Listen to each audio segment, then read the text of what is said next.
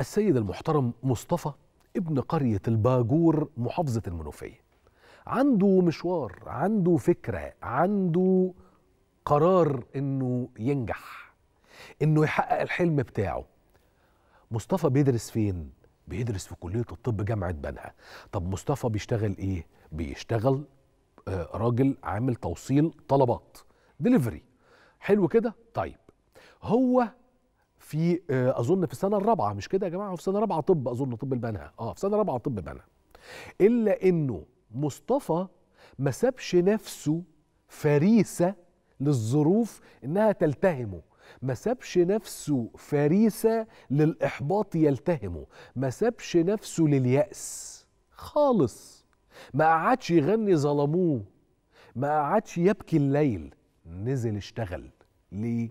علشان مصطفى مؤمن بلقمة العيش مؤمن بالكفاح مؤمن بأنه عنده قدرة بأمر ربنا سبحانه وتعالى أنه يوازن ما بين الدراسة والشغل فيقدر يساعد أسرته ويقدر يجمع مبلغ مش بطال عشان يساعده في دراسته كان زمان بيشتغل في مصنع لتعبئة الزيوت بالمناسبة على كل اعرف حدوتة مصطفى وتابعها بكل أمل وكل فخر.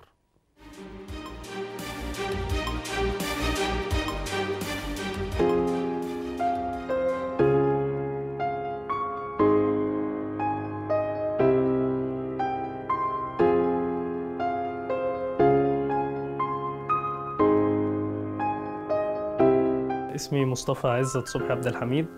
أنا دلوقتي طالب في الفرقة الرابعة كلية الطب البشري جامعة بنها طول المرحلة الابتدائية. كنت بجيب درجات كويسة الحمد لله وكان دايما المدرسين يشجعوني. والحمد لله بفضل الله طلعت من الأوائل لحد ما جبت 99% والحمد لله ربنا كرمني بكلية الطب البشري. كان في وظائف كتير تانية أو شغلانات تانية كتير اشتغلتها قبل الدليفري. بس الدليفري دي هي اللي اخترتها خصوصا بسبب إنها مش مرتبطة بعدد ساعات عمل معينة. يعني أنا ممكن أروح في وقت ما أنا مثلا عايز ارجع في الوقت اللي أنا عايزه بحيث ان أنا يعني لو عوزت ادي وقت لدراستي اعرف اعمل كده وفي نفس الوقت ما اجيش على الشغل.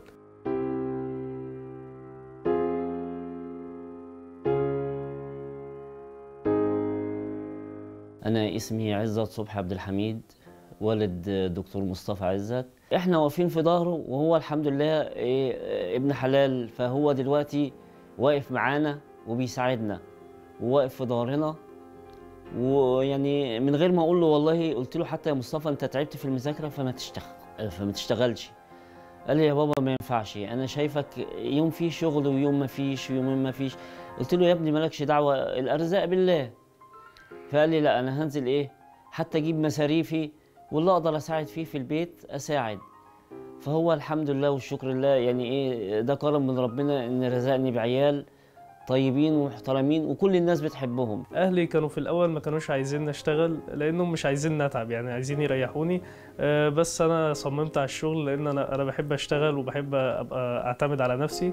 فهم شجعوني وبقوا يدعموني ويدعوا لي دايما.